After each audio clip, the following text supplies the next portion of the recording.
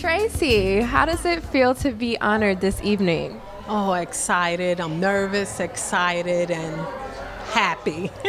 and so you are the CEO of the Alhambra Ballroom that we are in now. We've had our event here for two years. It's beautiful.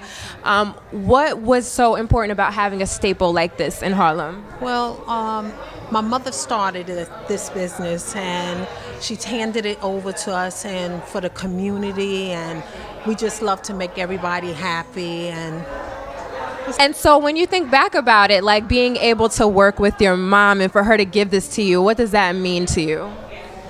Uh, it makes me want to cry. Um, my mom has taught me a lot, a lot, and she's taught me very well. And all I can say is I thank her and I thank God the amazing job she's done and to hand it over to me is amazing.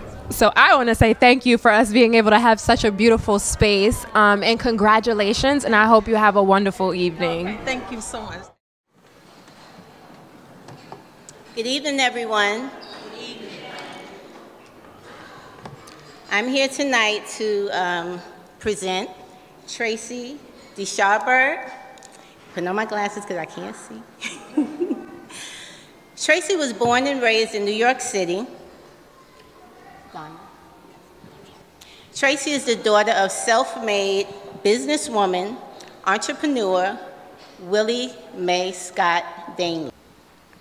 She's watched her mom work every day, endlessly, day in and day out, until she made all of her dreams come true.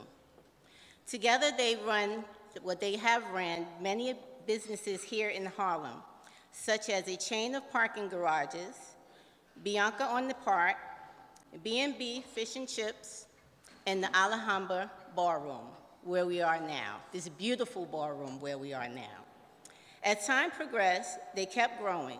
Together, this mother and daughter duo has faced many challenges, and with the glory and grace and praise of God, they got through them. After 30 years plus, being in business, Ms. Danley finally passed the torch down to Tracey. With her mother's guidance, Tracey is now the CEO of the Alhambra Ballroom. That is a great accomplishment. Tracey now has big plans, not only for herself, but for her two daughters, Bianca, who now stands by her mother and grandmother while they teach her the ins, the ins and outs of the business. And Brianna, who is a senior in high school and is also being mentored to learn the business. Besides being a businesswoman, a daughter and mother, Tracey is also a strong believer in God, a wonderful sister, a wife and a friend, and now the recipient of this wonderful award. Congratulations, Tracey. You're broken down and tired of living life on the merry-go-round. And you can't find a fighter, but I see it in you, so we gon' walk it out. Move mountains, we gon' walk it out and move.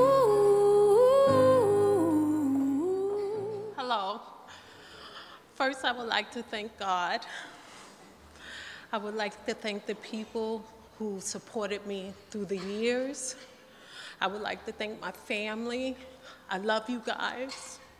My mother, who made it possible, because without her, I would not be standing here today to accept this award.